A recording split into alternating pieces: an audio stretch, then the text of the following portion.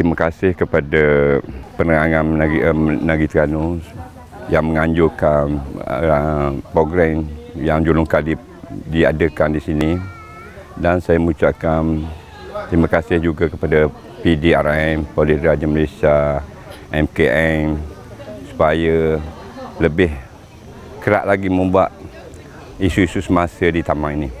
Kehadiran penduduk uh, hari ini kita tengok uh, memuaskan. Jadi dengan adanya penerangan daripada PDRM, maka orang-orang orang-orang di taman ini dah dah faham dah apa dari segi COVID sekalipun.